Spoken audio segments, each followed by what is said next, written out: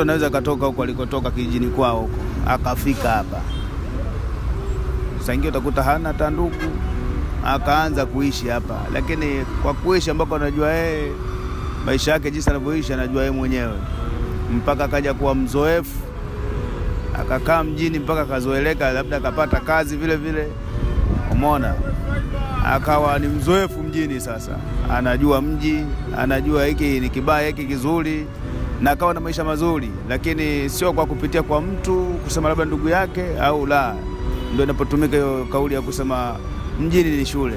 E, mjini ni shule. Lakini sasa kwa sababu nyingine ina matukio mengi yanafundisha. Kuna matukio mengine ya kitapeli, umeona bwana, mpaka mtu mwingine aibiwe, umeona?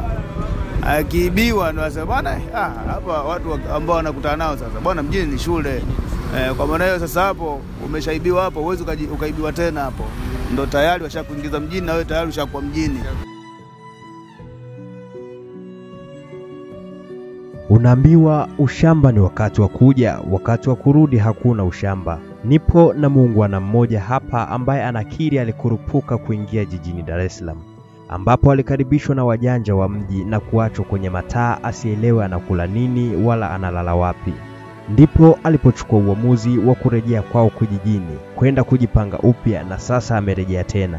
Hapa anatusimulia kisa chake. Cha kwanza mimi nilipokuja kufika mjini nilitoka kijijini huko nikaletwa mjini kuja kufanya kazi ya kuuza duka. Alafu nilivyokuwa nauza duka nikauza duka kama mwaka mmoja hivi, lakini yule bosi alinisingizia kwamba mimi nimemwibia, akanifunga na kunifunga, lakini mwisho wa siku Mungu alinisaidia nikatoka. Eh, nilivyotoka nikawa sina ndugu yoyote wa kunisaidia chochote, nasema kulala nikawa sina, uhakika wa kula sina, kazi sina. Hata sehemu ya kubadilisha nguo yenyewe ikawa shida, nikakomaa nika kama mie, miezi mitatu. Maisha kanishinda kabidi nirudi nyumbani. Kutokana na maisha ni magumu, sina, sina msaada. Kutokana na mimi eh, harakati ni ngumu, yani sina mtu wa kunisaidia, sina uhakika wa kula. Kwa hiyo da, da nikaona kwamba hapa mjini hapa nifai, madam sina kazi, ngoja nirudi kijijini.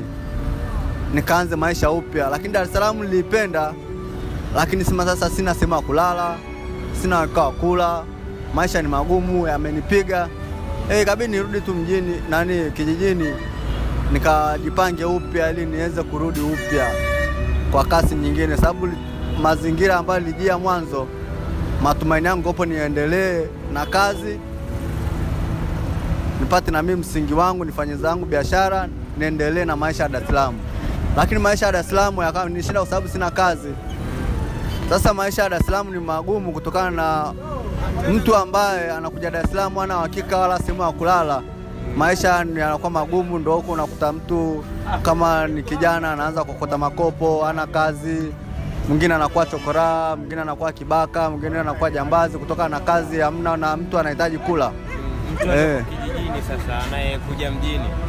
Ah, mtu anaye mtu anayetoka kijijini anakuja mjini, kwa kweli mimi nilikopo na, nampa wazo kwamba ajipange kweli, au la, kama ana ndugu ampe taarifa kabisa, bwana, mimi nakuja Dar es Salaam, naomba unisaidie sehemu hata kupumzika na sehemu ya kula mpaka nitakavyojipanga kutafuta kazi. Nikipata kazi hapo ndo utakuwa naweza kujiwezesha. Eh, sababu mjini bila kazi kwa kweli da ni changamoto. Unaweza kuharibikia hapa hapa. Umeona kama mateja hao wanaokula kula unga wanapiga piga madebe, hao walikuja vizuri tu, lakini mfumo wa kuja walivyokuja walikuja vibaya, hawakujipanga.